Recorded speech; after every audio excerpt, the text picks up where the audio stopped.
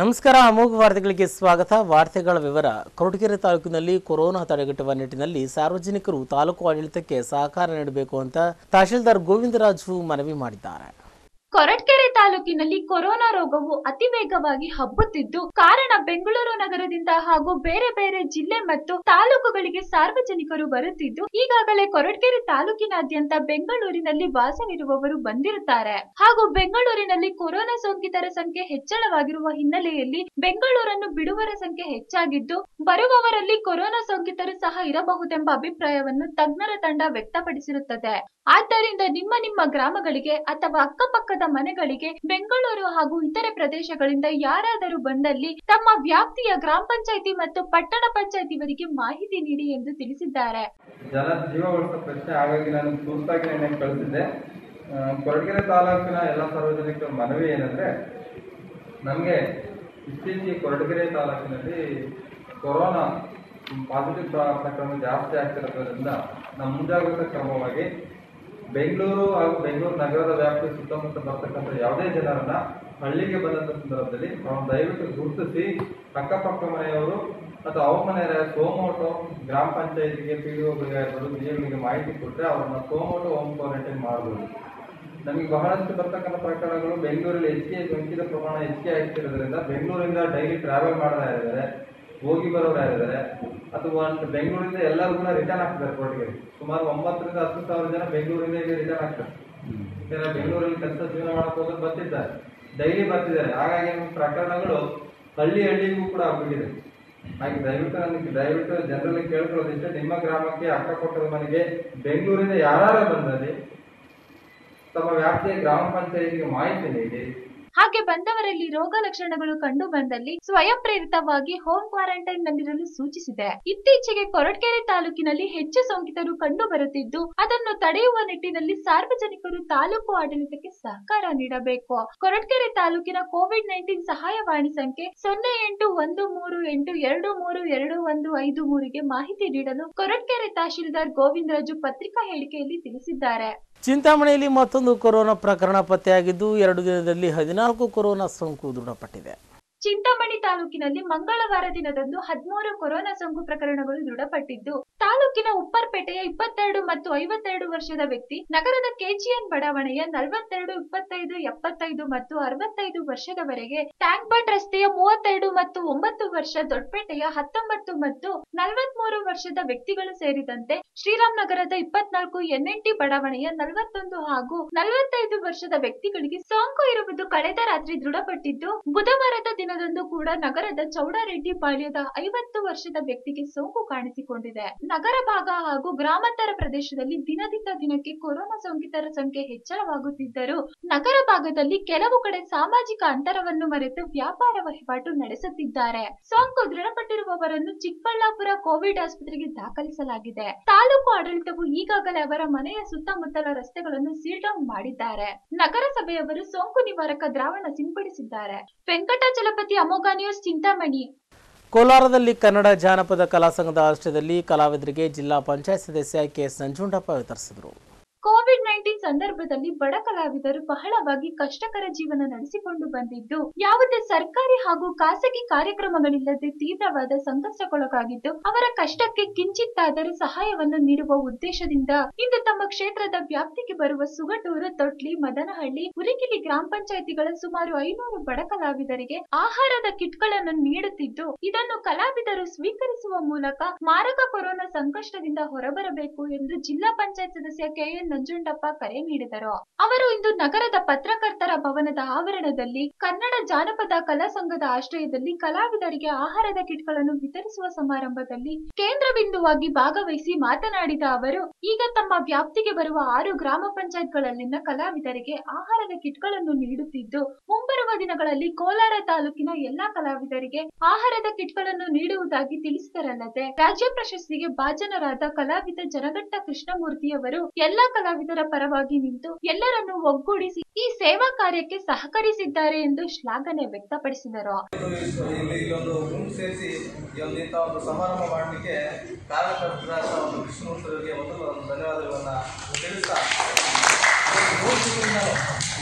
ಒಂದು ಕಾಯಿಲೆ ಬಂದಿದೆ ಅಂತ ಅಂದಮೇಲೆ ನಿಮ್ಮಂಥ ಒಂದು ಕಲಾವಿದರುಗಳಿಗೆ ಕೆಲಸನೇ ಇರಲಿಲ್ಲ. ಅಂತ ಒಂದು ಸ ಕೆಲಸ ಇಲ್ಲ ಅವರಿಗೆ ಊಟದ ವ್ಯವಸ್ಥೆ ಇಲ್ಲ ಅಂತ ಪತ್ರಿಕೆಗಳಲ್ಲಿ ನಾವು ನೋಡ್ತಾ ಇದ್ದೀವಿ. ಕೃಷ್ಣಮೂರ್ತಿಯವರು ಡಿ ಸಿ ಡಿ ಸಿ ಅವರು ಹತ್ರ ಹೋಗ್ತಾರೆ ಎ ಸಿ ಅವರು ಹೋಗ್ತಾರೆ ಎಲ್ಲ ಹತ್ರ ಹೋಗಿ ಅವರೆಲ್ಲ ಭೇಟಿ ಮಾಡಿ ಅವ್ರ ಕೈಲಾದಂಥ ಒಂದು ಸಹಾಯವನ್ನು ಈಗಾಗಲೇ ಮಾಡಿರ್ತಾರೆ. ಅವ್ರು ನನ್ನನ್ನು ಭೇಟಿ ಮಾಡಿ ನಮ್ಮ ಪರಿಸ್ಥಿತಿ ಹೀಗಿದೆ ನೀವೇನಾದರೂ ಮಾಡಿ ಸಹಾಯ ಮಾಡಬೇಕು ಅಂದಾಗ ಸರಿಯಪ್ಪ ನೀವು ಮಾಡಿ. ನೀವೇ ಊರುಗಳಲ್ಲಿ ಹೋಗಿ ಎಲ್ಲ ಏನೇನು ವ್ಯವಸ್ಥೆ ಇದೆ ಅದೆಲ್ಲನೂ ಮಾಡಿಕೊಟ್ಬಿಡು. ಇದು ಇಂಥ ಒಂದು ಸಂದರ್ಭದಲ್ಲಿ ಒಂದು ಸಭೆ ಸಮಾರಂಭ ಮಾಡೋದು ಬೇಡ. ಅಂತಂದರೆ ಅದು ಕೇಳೋದಿಲ್ಲ. ಆ, ಅಂಥ ಒಂದು ಮನಸ್ಸಿನ ಒಂದು ಸಂಸ್ಕೃತಿ ಈ ಒಂದು ಸಮಾರಂಭವನ್ನು ಆಯೋಜಿಸಿ ಇಂಥ ಒಂದು ಕಾರ್ಯಕ್ರಮವನ್ನು ಸಂಘಟನೆ ಮಾಡಿದ್ದಾರೆ ಮುಖ್ಯ ಅತಿಥಿಯಾಗಿ ಭಾಗವಹಿಸಿ ಮಾತನಾಡಿದ ಮಾಜಿ ತಾಲೂಕು ಪಂಚಾಯತಿ ಸದಸ್ಯ ನಾಗನಾಳ ಮಂಜುನಾಥ್, ಎಲ್ಲರಿಗೂ ದಾನ ಧರ್ಮ ಮಾಡುವ ಗುಣಗಳು ಇರುವುದಿಲ್ಲ. ಎಲ್ಲೋ ಕೆಲವರು ಆ ಗುಣಗಳನ್ನು ಮೈಗೂಡಿಸಿಕೊಂಡಿರುತ್ತಾರೆ. ಅಂತಹವರಲ್ಲಿ ಒಬ್ಬರಾದ ಜಿಲ್ಲಾ ಪಂಚಾಯತ್ ಸದಸ್ಯ ಕೆಎಸ್ ನಂಜುಂಡಪ್ಪರವರ ಈ ಸೇವೆ ನಿಜಕ್ಕೂ ಶ್ಲಾಘನೀಯ ಎಂದು ತಿಳಿಸಿದರು. ಸರಳ ಒಬ್ಬ ವ್ಯಕ್ತಿತ್ವವನ್ನು ಹೊಂದಿರತಕ್ಕಂಥವ್ರು ನಮ್ಮ ನಂಜುಂಡಪ್ಪನವರು. ಜಿಲ್ಲಾ ಪಂಚಾಯತಿ ಸದಸ್ಯರಂತ ಇದುವರೆಗೂ ಕೂಡ ಎಲ್ಲಿ ಕೂಡ ಅವರು ತೋರಿಸ್ಕೊಂಡಿಲ್ಲ. ಒಬ್ಬ ಸಾಮಾನ್ಯರಲ್ಲಿ ಸಾಮಾನ್ಯರಾಗಿ ನಮ್ಮೊಂದಿಗೆ, ನಿಮ್ಮೊಂದಿಗೆ ಬೆಳೆದು ಇಂಥ ಸಾಮಾಜಿಕ ಕಾರ್ಯಕ್ರಮಗಳನ್ನು ಮಾಡ್ತಾ ಇದ್ದಾರೆ. ಅವ್ರಿಗೂ ಕೂಡ ಭಗವಂತ ಇನ್ನೂ ಹೆಚ್ಚಿನ ಶಕ್ತಿ ಕೊಡಲಂತೇಳಿ ಸಂದರ್ಭದಲ್ಲಿ ನಿಮ್ಮೆಲ್ಲರ ಆರೈಕೆಯನ್ನು ಅವರಿಗೆ ಬಯಸ್ತಾ ಇದ್ದಾನೆ. ಸಂದರ್ಭದಲ್ಲಿ ಪತ್ರಕರ್ತರ ಸಂಘದ ಅಧ್ಯಕ್ಷರಾದ ವಿ ಮುನಿರಾಜ್, ಹಿರಿಯ ಪತ್ರಕರ್ತರಾದ ಬಿವಿ ಗೋಪಿನಾಥ್ ಮುಖಂಡರಾದ ಎನ್ ಪಾಲ್ಗುಣ, ದಲಿತ ನಾರಾಯಣ ಸ್ವಾಮಿ, ಕನ್ನಡಿಗ ಶಿವಕುಮಾರ್ ಗೌಡ, ಸವಿತ ಸಮಾಜದ ಮಂಜುನಾಥ್, ಟೈಗರ್ ವೆಂಕಟೇಶ್, ಭಜನೆ ನಾಗರಾಜ್ ಹೊಸಪಟ್ನಹಳ್ಳಿ ರಾಮಣ್ಣ, ನಾರಾಯಣಪ್ಪ, ಶಂಕರಪ್ಪ, ಜಯಪ್ಪ, ಉಪ್ಪುಕುಂಟೆ ನಾರಾಯಣ್ ಹಾಗೂ ಎಲ್ಲ ಕಲಾವಿದರು ಹಾಜರಿದ್ದರು. ತುರುವೇಕೆರೆ ತಾಲೂಕು ಗಿರೇನಹಳ್ಳಿ ಗ್ರಾಮದ ಕೆಂಪಯ್ಯನ ಸಾವು ಸಂಶಯಾಸ್ಪದವಾಗಿದ್ದು, ಈ ಸಾವಿನ ಪ್ರಕರಣವನ್ನು ಸಿಐಡಿಗೆ ಒಪ್ಪಿಸಬೇಕು ಅಂತ ಸತ್ಯಶೋಧನಾ ಸಮಿತಿ ಸದಸ್ಯರು ಆಗ್ರಹಿಸಿದ್ದಾರೆ. ತುರುವೇಕೆರೆ ತಾಲೂಕು ದಂಡಿನಶಿವರ ಹೋಬಳಿಯ ಗಿರೇನಹಳ್ಳಿ ಗ್ರಾಮದ ಕೆಂಪಯ್ಯ ನಿಗೂಢ ರೀತಿಯಲ್ಲಿ ಸಾವನ್ನಪ್ಪಿದ್ದು ಸಂಶಯಾಸ್ಪದ ಸಾವಿನ ಹಿನ್ನೆಲೆಯಲ್ಲಿ ಸವರ್ಣೀಯರ ಸಮುದಾಯದ ನಾಲ್ಕು ಜನರ ಕೈವಾಡವಿದ್ದು ಅವರನ್ನು ಬಂಧಿಸದೆ ನಿರ್ಲಕ್ಷ್ಯ ಮಾಡಲಾಗಿದೆ ಅಂತ ಕೆಂಪಯ್ಯನವರ ನಿಗೂಢ ಸಾವಿನ ಸತ್ಯಶೋಧನಾ ಸಮಿತಿ ಸದಸ್ಯರು ಆರೋಪಿಸಿದ್ದಾರೆ. ತುಮಕೂರಿನಲ್ಲಿ ಸತ್ಯಶೋಧನಾ ತಂಡದ ಸದಸ್ಯರುಗಳು ಸುದ್ದಿಗೋಷ್ಠಿ ನಡೆಸಿ ಪ್ರಾಥಮಿಕ ಹಂತದಿಂದಲೂ ಈ ಕೇಸಿನಲ್ಲಿ ಪೊಲೀಸರ ವೈಫಲ್ಯತೆ ಎದ್ದು ಕಾಣುತ್ತಿದೆ. ಮೃತರ ಕುಟುಂಬದವರು ಸಾಕಷ್ಟು ಪುರಾವೆಗಳನ್ನ ನೀಡಿದರು ಎಫ್ಐಆರ್ ದಾಖಲು ಮಾಡದೇ ಇರುವುದು ಸ್ಪಷ್ಟವಾಗಿದೆ ಅಂತ ಹೇಳಿದರು ಕೆಂಪಯ್ಯನ ಸಾವಿನ ಪ್ರಕರಣವನ್ನ ಸಿಐಡಿಗೆ ವಹಿಸಬೇಕು ಅಂತ ಸತ್ಯಶೋಧನಾ ಸಮಿತಿ ಸದಸ್ಯರು ಆಗ್ರಹಿಸಿದ್ದಾರೆ.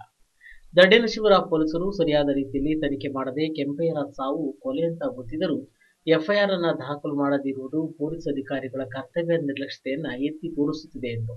ಫ್ಯಾಕ್ಟ್ ಒಂದು ಶಿಫಾರಸ್ನಲ್ಲಿ ಸೆವೆನ್ ಪಾಯಿಂಟ್ ಅಂತ ಹೇಳಿದೆ. ಅದರಲ್ಲಿ ಈ ಪ್ರತ್ಯೇಕ ತನಿಖಾ ಸಂಸ್ಥೆಯಿಂದ ಈ ಒಂದು ಕೆಂಪಯ್ಯನವರ ಒಂದು ನಿಗೂಢ ಸಾವಿನ ಬಗ್ಗೆ ಒಂದು ತನಿಖೆ ಆಗಬೇಕು. ಅದು ಸಿ ಐ ಡಿ ಅಥವಾ ಸಿ ಒ ಡಿಯಿಂದ ಒಂದು ಸ್ವತಂತ್ರ ತನಿಖೆಯನ್ನು ಮಾಡಬೇಕು ಅಂತಕ್ಕಂಥ ಒಂದು ಶಿಫಾರಸನ್ನು ಮಾಡಿದೆ. ಹಾಗೆಯೇ ದಂಡಿನ ಶಿವರ ಪೊಲೀಸ್ ಅಧಿಕಾರಿಗಳ ಮೇಲೆ ಅಟ್ರಾಸಿಟಿ ಆ್ಯಕ್ಟ್ ಪ್ರಕಾರವಾಗಿ ಅವ್ರ ದೌರ್ಜನ್ಯ ಪ್ರಕರಣವನ್ನು ಅವ್ರ ಮೇಲೆ ದಾಖಲಿಸಬೇಕು ಅಂತ ಹೇಳಿ ಶಿಫಾರಸ್ನಲ್ಲಿ ನಾವು ಒತ್ತಾಯ ಮಾಡ್ತಾ ಇದ್ದೀವಿ.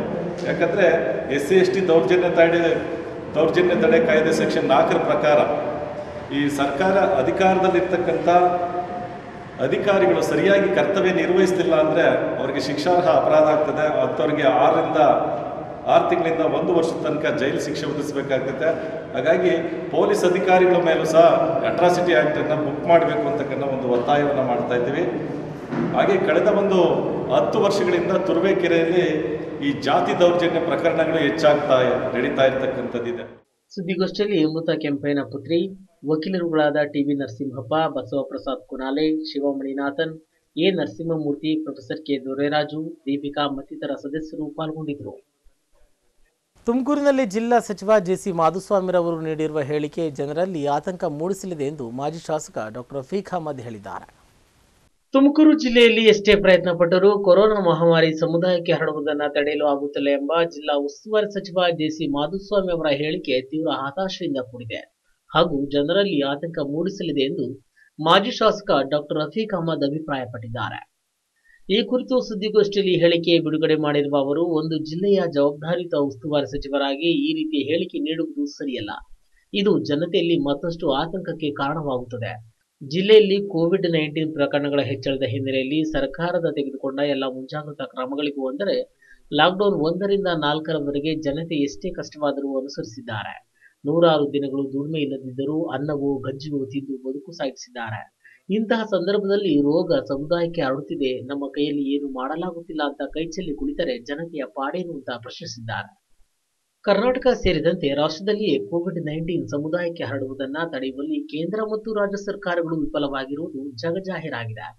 ಬದುಕು ಕಟ್ಟಿಕೊಳ್ಳಲು ನಗರಗಳಿಗೆ ವಲಸೆ ಬಂದು ಕೂಲಿ ಮಾಡಿ ಬದುಕುತ್ತಿದ್ದ ಜನರು ನಗರದ ಸಹವಾಸವೇ ಬೇಡ ಅಂತ ಹಳ್ಳಿಗಳಿಗೆ ಹಿಂದಿರುಗಿದ್ದಾರೆ. ಇಂತಹ ಪ್ರಕರಣಗಳೇ ಹಳ್ಳಿಗಳಲ್ಲಿ ಸೋಂಕಿತರ ಪ್ರಮಾಣದಲ್ಲಿ ನಿರಂತರ ಹೆಚ್ಚಳವಾಗಲು ಕಾರಣವಾಗಿದೆ. ಈ ನಿಟ್ಟಿನಲ್ಲಿ ಜಿಲ್ಲಾಡಳಿತ ಕೊರೋನಾ ಸೋಂಕಿನ ಪರೀಕ್ಷೆ ಹೆಚ್ಚಿಸಬೇಕು ಮತ್ತು ಬೆಂಗಳೂರಿನಿಂದ ಹಾಗೂ ಹೊರಗಿನಿಂದ ಬರುವವರ ತಪಾಸಣೆ ಕಡ್ಡಾಯಗೊಳಿಸಬೇಕು. ನಂತರ ಕನಿಷ್ಠ ಏಳು ದಿನಗಳ ಕಾಲವಾದರೂ ಕ್ವಾರಂಟೈನ್ನಲ್ಲಿ ಇಡುವ ಕೆಲಸ ಮಾಡಬೇಕು. ಇಲ್ಲವೇ ಅವರು ತಮ್ಮ ಮನೆಯಿಂದ ಹೊರಬರದಂತೆ ಕಟ್ಟುನಿಟ್ಟಿನ ಕ್ರಮ ವಹಿಸಬೇಕು. ಇತ್ತೀಚೆಗೆ ತುಮಕೂರು ಜಿಲ್ಲಾ ಆಸ್ಪತ್ರೆಯ ಸಿಬ್ಬಂದಿಗಳ ಬೇಜವಾಬ್ದಾರಿತನದಿಂದ ಅಲ್ಲಿ ಚಿಕಿತ್ಸೆ ಪಡೆಯುತ್ತಿರುವವರು ತೀವ್ರ ತೊಂದರೆಗೊಳಗಾಗಿದ್ದಾರೆ. ಇದರ ಬಗ್ಗೆ ಯಾವುದೇ ಕಠಿಣ ಕ್ರಮ ತೆಗೆದುಕೊಂಡಿಲ್ಲ. ಹೀಗಾದರೆ ತುಮಕೂರು ಜಿಲ್ಲೆಯ ಉಸ್ತುವಾರಿ ವಹಿಸಿಕೊಂಡಿರುವ ಸಚಿವರ ಸಾಧನೆ ಶೂನ್ಯವಲ್ಲವೇ? ಈ ಕೂಡಲೇ ಸೂಕ್ತ ಕ್ರಮ ಜರುಗಿಸಿ ಇಲ್ಲದಿದ್ದಲ್ಲಿ ಮುಂದಿನ ದಿನಗಳಲ್ಲಿ ಪ್ರಕರಣಗಳ ಸಂಖ್ಯೆ ಮತ್ತಷ್ಟು ಹೆಚ್ಚಳವಾಗುವ ಸಾಧ್ಯತೆ ಇದೆ ಅಂತ ಡಾಕ್ಟರ್ ರಫೀಕ್ ಅಹಮದ್ ಸಲಹೆ ನೀಡಿದ್ದಾರೆ. ಒಂದು ಸಭೆಯಲ್ಲಿ ಕೊರೋನಾ ಮಹಾಮಾರಿ ವೇಗವಾಗಿ ಹರಡ್ತಾ ಇದೆ. ಸಮುದಾಯಕ್ಕೂ ಕೂಡ ಕೂಡ ಹರಡ್ತಾ ಇದೆ. ಇದನ್ನು ಹತೋಟಿಗೆ ತರಲು ಸಾಧ್ಯವಾಗುತ್ತಿಲ್ಲ ಅಂತ ಹೇಳ್ಬಿಟ್ಟು ಒಂದು ಹೇಳಿಕೆಯನ್ನು ಕೊಟ್ಟಿದ್ದಾರೆ. ಇಂತಹ ಹೇಳಿಕೆ ಜನಸಾಮಾನ್ಯರಲ್ಲಿ ಆತಂಕವನ್ನು ಮೂಡಿಸುತ್ತೆ. ನಾನು ಸಚಿವರಲ್ಲಿ ಮನವಿ ಮಾಡ್ಕೊಳ್ತಾ ಇದ್ದೀನಿ. ತಾವು ದಯವಿಟ್ಟು ಇಂಥ ಹತಾಶೆಯ ಹೇಳಿಕೆಗಳನ್ನು ಕೊಡದೆ, ತಾವು ತಜ್ಞರ ಹಾಗೂ ವಿರೋಧ ಪಕ್ಷಗಳ ಹಾಗೂ ತಮ್ಮ ಪಕ್ಷದ ನಾಯಕರ ಅಭಿಪ್ರಾಯಗಳನ್ನು ಹಾಗೂ ಸಲಹೆಗಳನ್ನು ಪಡೆದು ಅದನ್ನು ಸೂಕ್ತ ರೀತಿಯಲ್ಲಿ ಪಾಲನೆ ಮಾಡ್ಕೊಂಡು ಬಂದರೆ ಖಂಡಿತವಾಗಿ ನಾವು ಮುಂದಿನ ದಿನಗಳಲ್ಲಿ ಈ ಮಹಾಮಾರಿಯನ್ನು ತಡೆಗಟ್ಟಬಹುದು. ಈಗಾಗಲೇ ಈ ಹಿಂದೆ ನಮ್ಮ ನಾಯಕರಾದ ರಾಹುಲ್ ಗಾಂಧಿಯವರು ಫೆಬ್ರವರಿ ತಿಂಗಳಲ್ಲೇ ಕೇಂದ್ರ ಸರ್ಕಾರಕ್ಕೆ ತಮ್ಮ ಸಲಹೆಗಳನ್ನು ಕೊಟ್ಟಿದ್ದರು ಇಂತಹ ನಾಯಕರುಗಳ ಸಲಹೆಗಳನ್ನು ಪಡೆದು ನಾವು ಸೂಕ್ತ ಮಾರ್ಗಸೂಚಿಗಳನ್ನು ತಾವು ರೂಪಿಸಿ ಅದನ್ನು ನಾವು ಪಾಲನೆ ಮಾಡ್ತೀವಿ ಅಂತ ಹೇಳ್ಬಿಟ್ಟು ತಮ್ಮ ಮುಖಾಂತರ ನಾನು ರಾಜ್ಯ ಸರ್ಕಾರಕ್ಕೆ ಹಾಗೂ ಸಚಿವರಿಗೆ ನಾನು ಮನವಿ ಮಾಡಿಕೊಂಡು ಮುಂದಿನ ದಿನಗಳಲ್ಲಿ ಹೊರ ರಾಜ್ಯದಿಂದ ಬರುವಂತಹ ಜನರಿಗೆ ಕನಿಷ್ಠ ಏಳರಿಂದ ಹತ್ತು ದಿನ ಕ್ವಾರಂಟೈನ್ ಮಾಡಬೇಕು. ಹಾಗೆ ಏನು ಇವತ್ತು ಟೆಸ್ಟಿಂಗ್ ಮಾಡ್ತಾ ಆ ಟೆಸ್ಟಿಂಗ್ನ ಪ್ರಮಾಣ ಕೂಡ ಹೆಚ್ಚಳ ಮಾಡಿದರೆ ನಾವು ಈ ಕೊರೋನಾ ಮಹಾಮಾರಿಯನ್ನು ತಡೆಗಟ್ಟಬಹುದು ಅಂತ ನನ್ನ, ಈ ನನ್ನ ಸಲಹೆಯನ್ನು ಮಾನ್ಯ ಸಚಿವರಿಗೆ ಹಾಗೂ ರಾಜ್ಯ ಸರ್ಕಾರಕ್ಕೆ ಕೊಡೋದನ್ನು ನಾನು ಬಯಸ್ತಾ ಇದ್ದೀನಿ. ಚಿಕ್ಕಬಳ್ಳಾಪುರ ಗ್ರಾಮಾಂತರ ಠಾಣೆಯ ಸಬ್ ಇನ್ಸ್ಪೆಕ್ಟರ್ಗೆ ಕೊರೋನಾ ಪಾಸಿಟಿವ್ ಬಂದಿದ್ದು ಗ್ರಾಮಾಂತರ ಠಾಣೆಯನ್ನೇ ಸೀಲ್ ಡೌನ್ ಮಾಡಲಾಗಿದೆ. ಚಿಕ್ಕಬಳ್ಳಾಪುರ ಪೊಲೀಸ್ ಠಾಣೆಯ ಪಿಸಿಐಗೂ ಕೊರೋನಾ ಪಾಸಿಟಿವ್ ಬಂದಿದೆ. ಚಿಕ್ಕಬಳ್ಳಾಪುರ ಗ್ರಾಮಾಂತರ ಠಾಣೆಯ ಪಿಸಿಐಗೆ ಕೊರೋನಾ ಸೋಂಕು ದೃಢಪಟ್ಟಿದೆ. ಚಿಕ್ಕಬಳ್ಳಾಪುರ ಗ್ರಾಮಾಂತರ ಪೊಲೀಸ್ ಠಾಣೆ ಸೀಲ್ ಡೌನ್. ಠಾಣೆಯ ಎಲ್ಲಾ ಸಿಬ್ಬಂದಿ ವರ್ಗಕ್ಕೆ ಜಿಲ್ಲಾಸ್ಪತ್ರೆಯಲ್ಲಿ ಕೋವಿಡ್ ನೈನ್ಟೀನ್ ಪರೀಕ್ಷೆ ನಡೆಯಲಿದೆ. ಚಿಕ್ಕಬಳ್ಳಾಪುರ ನಗರದ ಎಂಜಿ ರಸ್ತೆಯ ಖಾಸಗಿ ಬಸ್ ನಿಲ್ದಾಣದ ಬಳಿ ಇರುವ ಗ್ರಾಮಾಂತರ ಪೊಲೀಸ್ ಠಾಣೆ. N Satish Amogha news Chikkaballapura. Malur PLD ಬ್ಯಾಂಕಿನಲ್ಲಿ ಬಾಕಿ ಇದ್ದ ಇಪ್ಪತ್ತೊಂಬತ್ತು ಬಡ ರೈತರ ಸಾಲವನ್ನು ಸಂಜೀವಿನಿ ಚಾರಿಟಬಲ್ ಟ್ರಸ್ಟ್ ಅಧ್ಯಕ್ಷ ಹೂಡಿ ವಿಜಯಕುಮಾರ್ ಪಾವತಿಸುವ ಮೂಲಕ ಮಾನವೀಯತೆ ಮೆರೆದಿದ್ದಾರೆ. ಮಾಲೂರು ತಾಲೂಕು ಕೃಷಿ ಮತ್ತು ಭೂ ಅಭಿವೃದ್ಧಿ ಬ್ಯಾಂಕ್ನಲ್ಲಿ ಕಳೆದ ಹತ್ತೊಂಬತ್ತು ನೂರ ಎಂಬತ್ತರಿಂದ ಇಲ್ಲಿಯವರೆಗೆ ಸುಸ್ತಿದಾರರಾಗಿದ್ದ ಇಪ್ಪತ್ತೊಂಬತ್ತು ಬಡ ರೈತರ ಸುಮಾರು ಹತ್ತು ಸಾವಿರ ರೂಪಾಯಿಗಿನ ಸಾಲದ ಮೊತ್ತ ಒಟ್ಟಾರೆಯಾಗಿ ಒಂದು ಲಕ್ಷ ಎಪ್ಪತ್ತೆಂಟು ಸಾವಿರ ರೂಪಾಯಿಗಳನ್ನು ಬ್ಯಾಂಕಿಗೆ ಪಾವತಿಸಿ ಅವರುಗಳನ್ನು ಋಣಮುಕ್ತರನ್ನಾಗಿ ಮಾಡುವ ಮೂಲಕ ಸಂಜೀವಿನಿ ಚಾರಿಟಬಲ್ ಟ್ರಸ್ಟ್ ಅಧ್ಯಕ್ಷರಾದ ಹೂಡಿ ವಿಜಯಕುಮಾರ್ ಮಾನವೀಯತೆ ಮೆರೆದಿದ್ದಾರೆ. ಈ ಸಂದರ್ಭದಲ್ಲಿ ಮಾತನಾಡಿದ ಅವರು, ಕೊರೋನಾ ಕಾಯಿಲೆ ಹಿನ್ನೆಲೆಯಲ್ಲಿ ಜನತೆ ಬಹಳ ಕಷ್ಟಪಡುತ್ತಿದ್ದಾರೆ ಅಲ್ಪ ಸಾಲಗಳನ್ನ ತೀರಿಸದ ಪರಿಸ್ಥಿತಿ ಏರ್ಪಟ್ಟಿದ್ದು ಪಿಎಲ್ಡಿ ಅಧ್ಯಕ್ಷರ ಮನವಿಯಂತೆ ಅವರು ಆಯ್ಕೆ ಮಾಡಿದ ಇಪ್ಪತ್ತೊಂಬತ್ತು ಜನರ ಸಾಲವನ್ನು ತಾವು ಇಂದು ತೀರಿಸಿದ್ದು, ಇನ್ನು ಮುಂದೆ ಋಣಮುಕ್ತ ರೈತರಿಗೆ ಅನುಕೂಲವಾಗಲಿದ್ದು, ಬೇರೆ ಕಡೆ ಸಾಲ ಪಡೆಯಬಹುದಾಗಿದೆ. ಅವರು ಅಡಮಾನ ಇಟ್ಟಿದ್ದ ಪತ್ರಗಳು ಅವರಿಗೆ ಸಿಗಲಿದ್ದು, ಬೇರೆ ವ್ಯವಹಾರ ಮಾಡಿ ಅವರ ಜೀವನವನ್ನ ರೂಪಿಸಿಕೊಳ್ಳಲು ಇದು ಸಹಾಯವಾಗಲಿದೆ ಎಂದರು. ಸಾವಿರದ ಒಂಬೈನೂರ ಎಂಬತ್ತರಿಂದ ಇದ್ದಿದ್ದಂಥ ಸಾಲಗಳು ಇವತ್ತಿನ ದಿವಸ ಅವ್ರು ಕಟ್ಟೋಕ್ಕಾಗದೇ ಇಲ್ಲ ಅಂತ ಪರಿಸ್ಥಿತಿನಲ್ಲಿ ಇರೋಂಥವ್ರನ್ನ ಐಡೆಂಟಿಫೈ ಮಾಡಿ ನಮ್ಮ ಅಧ್ಯಕ್ಷರು ಅವ್ರ ನೇತೃತ್ವದಲ್ಲಿ ಒಂದು ಲೀಸ್ಟ್ ಕೊಟ್ಟಿದ್ದರು ಅದ್ರ ಪ್ರಕಾರ ನಾವು ಅವ್ರಿಗೆಲ್ಲ ಸಾಲ ಅಮೌಂಟ್ ಕಟ್ಟಿ ತೀರಿಸೋಣ ಅನ್ನೋ ಉದ್ದೇಶದಲ್ಲಿ ಇವತ್ತು ಅವ್ರಿಗೆ ಅಮೌಂಟು ಕಟ್ಟಿ ತೀರಿಸಿದ್ವಿ. ಅವ್ರಿಗೇನು ಡಾಕ್ಯುಮೆಂಟ್ಸ್ ಆಗಿರ್ಬೋದು, ಅವ್ರಿಗೆಲ್ಲ ಇಲ್ಲೆಲ್ಲ ಬ್ಯಾಂಕಲ್ಲಿ ಅಡಮಾನ ಇಕ್ಕಿದ್ರು. ಇವಾಗ ಅದು ಆ ಡಾಕ್ಯುಮೆಂಟ್ಸ್ಗಳಿಗೆಲ್ಲ ಎನ್ ಸಿ ಕೊಡ್ತಾರೆ ಇವತ್ತಿಂದ. ಹಾಗಾಗಿ ಅವ್ರಿಗೇನು ಸರ್ಕಾರದಿಂದ ಬಂದಿದ್ದಂಥ ಬಡ್ಡಿ ಬಡ್ಡಿ ಕೂಡ ಮನ್ನಾ ಆಗಿ ಇವತ್ತು ಅವ್ರದ್ದು ಪೂರ್ತಿ ಅಸಲು ಕೂಡ ಮನ್ನಾ ಆಗಿದೆ. ಹಾಗಾಗಿ ಅವ್ರಿಗೆ ಅನುಕೂಲ ಆಗಲಿ ರೈತರಿಗೆ ಅನ್ನೋ ಉದ್ದೇಶದಲ್ಲಿ ನಾವು ಇವತ್ತು ಮಾಲೂರು ಪಿಎಲ್ಡಿ ಬ್ಯಾಂಕ್ನ ಅಧ್ಯಕ್ಷರಾದ ರಾಮಸ್ವಾಮಿ ರವರ ನೇತೃತ್ವದಲ್ಲಿ ರೈತರಿಗೆ ಋಣಮುಕ್ತ ಪತ್ರ ವಿತರಿಸಿ ಮಾತನಾಡಿದ ಅವರು ಬಹಳ ವರ್ಷಗಳಿಂದ ಅನೇಕ ಬಡ ರೈತರು ತಮ್ಮ ಅಲ್ಪ ಮೊತ್ತದ ಸಾಲವನ್ನ ಸಹ ತೀರಿಸದೆ ತೊಂದರೆ ಅನುಭವಿಸುತ್ತಿದ್ದು ಇದರಿಂದ ಕೆಲ ರೈತರ ಸಾಲ ತೀರಿದ್ದು, ಇದರಿಂದ ಬ್ಯಾಂಕಿಗೆ ಅನುಕೂಲವಾಗಿದೆ ಅಲ್ಲದೆ ಅಸಲು, ಬಡ್ಡಿ, ಸುಸ್ತಿ ಬಡ್ಡಿ ಸೇರಿಸಿ ಸುಮಾರು ಏಳು ಲಕ್ಷ ಎಪ್ಪತ್ತು ಸಾವಿರ ರೂಪಾಯಿ ಬ್ಯಾಂಕಿಗೆ ಹಣ ಬಂದಂತಾಗಿದೆ ಎಂದು ವಿವರಿಸಿದರಲ್ಲದೆ, ರೈತರ ಸಾಲ ತೀರಿಸುವುದರಿಂದ ಸರ್ಕಾರ ಅವರು ಕಟ್ಟಬೇಕಾಗಿದ್ದ ಸಂಪೂರ್ಣ ಬಡ್ಡಿಯನ್ನ ಬ್ಯಾಂಕಿಗೆ ಪಾವತಿಸಲಿದೆ ಎಂದರು. ಮುಂದುವರೆದ ಹೂಡಿ ವಿಜಯಕುಮಾರ್, ಈಗಾಗಲೇ ಸಾಯಿಬಾಬಾ ಬಾರಿಕಾಂಬ ದೇವಾಲಯಗಳಿಗೆ ಸ್ಯಾನಿಟೈಸರ್ ಯಂತ್ರಗಳನ್ನ ನೀಡಿದ್ದು, ತಾಲೂಕಿನ ಎಲ್ಲಾ ದೇವಾಲಯಗಳಲ್ಲಿ, ಪಂಚಾಯಿತಿಗಳಲ್ಲಿ ಪುರಸಭೆ ಹಾಗೂ ಅಗತ್ಯವಿರುವ ಎಲ್ಲಾ ಕಡೆ ಸ್ಯಾನಿಟೈಸರ್ ಯಂತ್ರಗಳನ್ನ ಅಳವಡಿಸುವ ಕೆಲಸ ಮಾಡುವುದಾಗಿ ತಿಳಿಸಿದರು. ಈ ಸಂದರ್ಭದಲ್ಲಿ ಮುಖಂಡರಾದ ಬಿಆರ್ ವೆಂಕಟೇಶ್, ನಗರಾಧ್ಯಕ್ಷರಾದ ಎಂಸಿ ರವಿ, ಮಾಲೂರು ಯೋಜನಾ ಪ್ರಾಧಿಕಾರ ಅಧ್ಯಕ್ಷರಾದ ಸತೀಶ್ ಆರಾಧ್ಯ ಟಿಬಿ ವೆಂಕಟೇಶ್, ದೇವರಾಜ್ ರೆಡ್ಡಿ, ನಾರಾಯಣಸ್ವಾಮಿ, ಶೇಷಗಿರಿ, ಎಚ್. ಗೋಪಾಲ್ ಪುರಸಭಾ ಸದಸ್ಯರುಗಳಾದ ಸಿಬಿ ಭಾನುತೇಜ, ಮಂಜುಳಾ ಮಂಜುನಾಥ್, ರೇಣುಕಾ ಪ್ರಸಾದ್, ಹನುಮಪ್ಪ ಹಾಗೂ ಯುವ ಮೋರ್ಚಾ ಅಧ್ಯಕ್ಷರಾದ ಪ್ರೇಮಕುಮಾರ್ ಮಂಜುನಾಥ್ ರಾಜಪ್ಪ, ಅಶ್ವಥ್ ಡಿಕೆ ಗೋಪಾಲ್, ವೆಂಕಟೇಶ್ ಬೇಬಿ ಹಾಗೂ ಮತ್ತಿತರರು ಭಾಗವಹಿಸಿದ್ರು ಚಿಂತಾಮಣಿಯಲ್ಲಿ ಮಾದಿಗ ದಂಡೋರದ ಸಂಸ್ಥಾಪಕ ದಿನಾಚರಣೆಯನ್ನು ಆಚರಿಸಲಾಯಿತು. ಮಾದಿಗ ಜನಾಂಗಕ್ಕೆ ಮೂಲಭೂತ ಸೌಕರ್ಯವನ್ನು ಸರ್ಕಾರ ಕಲ್ಪಿಸಬೇಕು ಹಾಗೂ ಎಜೆ ಸದಾಶಿವ ವರದಿ ಕೇಂದ್ರ ಸರ್ಕಾರ ಶಿಫಾರಸು ಮಾಡಬೇಕು. ಆದಿಜಾಂಬವ ಅಭಿವೃದ್ಧಿ ನಿಗಮಕ್ಕೆ ರಾಜ್ಯ ಸರ್ಕಾರ ಅಧ್ಯಕ್ಷರನ್ನ ನೇಮಕ ಮಾಡಬೇಕೆಂದು ಮಾದಿಗ ದಂಡೋರ ಜಿಲ್ಲಾ ಅಧ್ಯಕ್ಷ ಎಂವಿ ರಾಮಪ್ಪ ನುಡಿದರು. ಮಾದಿಗ ದಂಡೋರ ಐವತ್ತಾರನೇ ವರ್ಷ ಸಂಸ್ಥಾಪಕ ದಿನಾಚರಣೆ ಹಾಗೂ ಮಂದಕೃಷ್ಣ ಮಾದಿಗ ರಾಷ್ಟ್ರೀಯ ಅಧ್ಯಕ್ಷರ ಮಾದಿಗ ದಂಡೋರರವರ ಐವತ್ತಾರನೇ ಹುಟ್ಟುಹಬ್ಬದ ದಿನಾಚರಣೆಯ ಪ್ರಯುಕ್ತ ತಾಲೂಕಿನ ಊನವಾಡಿ ಮತ್ತು ಮೂಡಚಿಂತಲಹಳ್ಳಿಯಲ್ಲಿ ಹಮ್ಮಿಕೊಂಡಿದ್ದ ಕಾರ್ಯಕ್ರಮದಲ್ಲಿ ಮಾತನಾಡಿ, ಸರ್ಕಾರ ನಮ್ಮ ಜನಾಂಗಕ್ಕೆ ಕೊಡಬೇಕಾದ ಎಲ್ಲ ಸೌಲಭ್ಯಗಳನ್ನು ಸಮಯಕ್ಕೆ ಸರಿಯಾಗಿ ನೀಡಬೇಕು. ನಮ್ಮ ಜನಾಂಗದವರಿಗೆ ಸೌಲಭ್ಯಗಳು ಸಮಯಕ್ಕೆ ಸರಿಯಾಗಿ ನೀಡಬೇಕು. ನಮ್ಮ ಜನಾಂಗದವರು ಸರ್ಕಾರದಿಂದ ಬರುವ ಸೌಲಭ್ಯಗಳನ್ನು ಪಡೆದು ಸಮಾಜದಲ್ಲಿ ಉನ್ನತ ಸ್ಥಾನ ಪಡೆಯಬೇಕು. ನಮ್ಮ ಜನಾಂಗದ ಮಕ್ಕಳು ಒಳ್ಳೆಯ ವಿದ್ಯಾಭ್ಯಾಸವನ್ನು ಮಾಡಿ, ಒಳ್ಳೆಯ ಸ್ಥಾನಮಾನ ಪಡೆದು ಇನ್ನೂ ಹಲವು ನಮ್ಮ ಜನಾಂಗದಲ್ಲಿರುವ ಕುಟುಂಬಗಳಿಗೆ ನೆರವಾಗಬೇಕೆಂದು ತಿಳಿಸಿದರು. ನಮ್ಮ ಜನಾಂಗಕ್ಕೆ ಸರ್ಕಾರ ನೀಡಬೇಕಾದ ಸೌಕರ್ಯ ನೀಡದಿದ್ದಲ್ಲಿ ಮುಂದಿನ ದಿನಗಳಲ್ಲಿ ಹೋರಾಟ ಹಮ್ಮಿಕೊಳ್ಳಲಾಗುವುದು ಎಂದು ತಿಳಿಸಿದರು. ಮಾದಿಗ ಮೀಸಲಾತಿ ಹೋರಾಟ ಸಮಿತಿಯ ನಮ್ಮ ಕರ್ನಾಟಕ ರಾಜ್ಯದಲ್ಲಿ ಏನು ನಾವು ಹೋರಾಟಗಳು ಹಮ್ಮಿಕೊಂಡು ಬಂದಿದ್ದೀವೋ ಇವತ್ತು ಸಂದರ್ಭದಲ್ಲಿ ಅವರ ಜಯಂತಿಯನ್ನು ಮತ್ತು ಹುಟ್ಟುಹಬ್ಬದ ಸಂದರ್ಭದಲ್ಲಿ ನಾವು ಮಾದಿಗದಂಡರ ಜಿಲ್ಲಾಧ್ಯಕ್ಷರಾಗಿ ನಾವು ಈ ಒಂದು ಉದ್ಘಾಟನೆಯನ್ನು ಮಾಡಿ, ಏನು ನಮ್ಮ ಕರ್ನಾಟಕ ರಾಜ್ಯದಲ್ಲಿ ಆದಿಜಾಂಬ ಅಭಿವೃದ್ಧಿ ನಿಗಮ ಏನು ಸುಮಾರು ಮೂರು ವರ್ಷಗಳಾಗಿದೆ ಮೂರು ವರ್ಷ ಆದರೂ ಸಹ ಅವರಕ್ಕೆ ಈಗ ಈಗಿನ ಮುಖ್ಯಮಂತ್ರಿ ಯಡಿಯೂರಪ್ಪನವರು ಅವರನ್ನು ಅಧ್ಯಕ್ಷರನ್ನಾಗಿ ನೇಮಕ ಮಾಡಿಲ್ಲ. ಮತ್ತು ಸದಾಶಿವ ವರದಿಯನ್ನು ಸಹ ಕೇಂದ್ರ ಸರ್ಕಾರಕ್ಕೆ ಶಿಫಾರಸು ಮಾಡಿಲ್ಲ. ಅದರ ವಿರುದ್ಧವಾಗಿ ಇವತ್ತು ನಾವನಿಗೆ ಅವರಿಗೆ ಅವರಲ್ಲಿ ಮನವಿ ಮಾಡ್ತಾ ಇದ್ದೀವಿ, ಒಂದು ಎಚ್ಚರಿಕೆಯನ್ನು ಕೊಡ್ತಾ ಇದ್ದೀವಿ. ಏನಂತೆ ಎ ಬಿ ಸಿ ಡಿ ವರ್ಗೀಕರಣ ಕೇಂದ್ರ ಸಿಗ ಕೇಂದ್ರ ಸರ್ಕಾರಕ್ಕೆ ಶಿಫಾರಸು ಮಾಡಬೇಕು. ಏನು ನಮ್ಮ ಕರ್ನಾಟಕ ರಾಜ್ಯದಲ್ಲಿ ಮಾದಿಗರ ಸಂಖ್ಯೆ ಎಷ್ಟಿದೆ? ಮತ್ತು ಮಾದಿ ಮಾದಿಗರಿಗೆ ಮೂಲಭೂತ ಸೌಕರ್ಯಗಳೇನಿದೆ? ಮತ್ತು ಆದಿಜಾಂಬವ ಅಭಿವೃದ್ಧಿ ನಿಗಮದಲ್ಲಿ ಅಧ್ಯಕ್ಷರನ್ನು ಅತಿ ಕೂಡಲೇ ನೇಮಕ ಮಾಡಬೇಕು.